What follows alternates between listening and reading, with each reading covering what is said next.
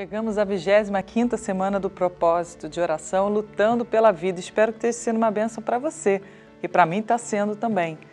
Olha, hoje a gente vai meditar em que Jesus falou em João capítulo 8, versículo 12. Falou-lhes, pois, Jesus outra vez, dizendo: Eu sou a luz do mundo. Quem me segue não andará em trevas, mas terá a luz da vida. Lutar pela vida é necessário que a gente siga Jesus.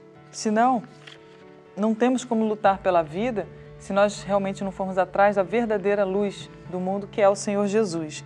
Mas alguém pode perguntar assim: é, mas Jesus não está aqui na Terra? Acho que vocês falam tão abstrato tudo isso aí. Como é que eu vou seguir Jesus? Vou te explicar. Quando eu tinha lá para meus 13, 14 anos, eu também estava na igreja e eu perguntava assim: mas o que é a palavra de Deus? Eu via muito pastor falando isso. E eu perguntei, Senhor, o que, que é isso? Eu não estou entendendo. E é muito bom a gente ser sincero com Deus. E Deus me abriu o entendimento falando, a palavra de Deus sou eu querendo falar com você. Através de, do que? Da Bíblia.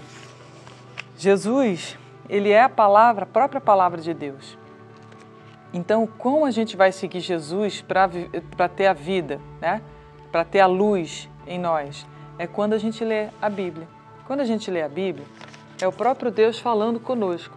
E quando Deus fala conosco, aquelas áreas da nossa vida que nós estamos errando, a gente não está tendo entendimento, a gente está cometendo algum equívoco, elas vão ser iluminadas. Então vamos dar um exemplo, vamos pegar os dez mandamentos. Né? Deus fala amar a Deus sobre todas as coisas. A gente tem que começar a analisar a nossa vida. Será que eu estou amando a Deus sobre todas as coisas? Ou eu estou amando a mim mais do que a Deus? Ou estou amando mais uma profissão, um ídolo, sei lá, alguma coisa mais que Deus. Então, um segredo para a gente poder chegar e verdadeiramente ter a vida é a gente amar a Deus sobre todas as coisas. Porque você vê hoje a humanidade colocando a eles mesmos no lugar de Deus, fazendo as próprias vontades. E aí, quando a gente faz as nossas próprias vontades, e principalmente quando a gente está longe de Deus, a gente comete os maiores absurdos. Tá, e os jornais que estão mostrando. Uma mulher que de repente está num relacionamento e aí ela desmancha esse relacionamento, quer seguir a vida dela, vê que aquele homem não serve para ela. O homem não se conforma e vai e mata essa mulher. Ele amou a Deus acima de todas as coisas? Não, ele amou a ele mais do que qualquer outra coisa, a ponto de chegar e de cometer um assassinato. Então, se nós amarmos a Deus sobre todas as coisas, amarmos o próximo como a nós mesmos, nós também não vamos querer fazer o mal para o próximo, porque a gente também não vai querer esse mal para a gente, entende? Então, essa é a luz que começa a vir na nossa vida e vai nos dar um norte para como a gente deve tomar as decisões. O que, que eu decidi numa situação como essa? Alguém me fez o mal, vou pagar o mal com o mal? Não. E assim a gente começa a nortear os nossos pensamentos. E essa é, é Jesus, porque a palavra é Jesus. Então, quando a gente medita na palavra, Jesus vem e ilumina os nossos caminhos, as nossas decisões e nos orienta.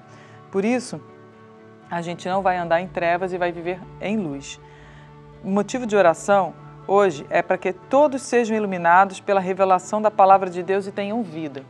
Muitas vezes a gente lê a Bíblia e às vezes não entende, até lê, concorda no nosso raciocínio natural, que aquilo está certo, que deve ser daquela maneira, como Deus está orientando, mas a gente não consegue praticar. Por quê? Porque aquela palavra ainda não revelou no nosso coração de tal maneira que ficou gravada no nosso coração como um mandamento. E quando a gente não tem isso gravado no nosso coração, a gente sabe qual é o certo, mas age de modo errado. Então essa vai ser a nossa oração, para que a palavra, essa luz de Deus, o entendimento da palavra, as direções de Deus sejam tão claras e entrem tão profundamente no nosso coração, né? Que fiquem reveladas em nome de Jesus. Vamos orar? Pai, quero colocar todas nós agora nas Suas mãos, porque, meu Deus, entendemos que vida sem Jesus não tem como. Jesus, Tu és a luz da vida. O Senhor é aquele que nos dá as direções, as orientações de como devemos agir, o que devemos fazer em cada situação.